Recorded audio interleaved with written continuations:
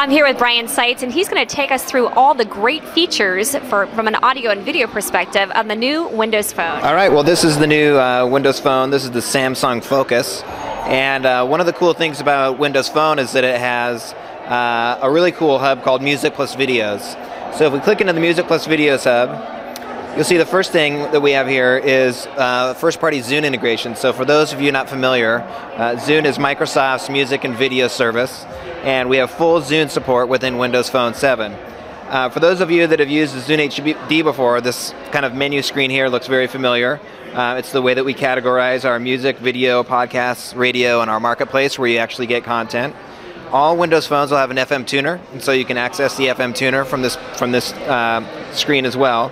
If I click into music, here's my collection, and if I wanted to jump to a title, let's say that started with R, I could go right down here and start playing some Rihanna. The cool thing about Zune, and this is something that we started back with Zune HD, is that we think music should be a really high fidelity and uh, really rich experience. It shouldn't just be blue text on a white background. So what we've done here is we've you can see we have a, an artist image of Rihanna in the background. We've got Rihanna's album art. You can scroll uh, and uh, tap on the tile there and mark this as a favorite if you wanted to. So we'll back out. The cool thing too is that let's say you just had, in this case, we just have one Rihanna track. If we wanted to go get more from the Zune Marketplace, you could just click Marketplace and it's going to go hit the Zune Marketplace and show you all the other Rihanna tracks and albums that we have in the marketplace. And if you're a Zune Pass subscriber, which is um, you pay a flat fee per month and you get unlimited access to to the music marketplace, you just hit play and this stuff starts going. You don't have to download it; it streams over the network.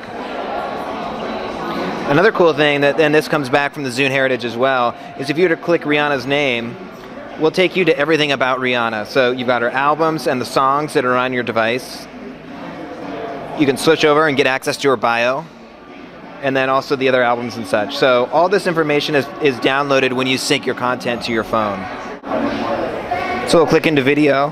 And this is music. This is video that you can either purchase through the Zune Marketplace or that you could sideload from your own collection on your on your PC. So if you took some home videos that you want to have on your phone, you would add those here, and this is where they would show up.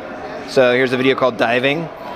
You'll see it will go into landscape view, and there you got a nice uh, a nice video experience there on the go. Uh, a nice video experience there on the go.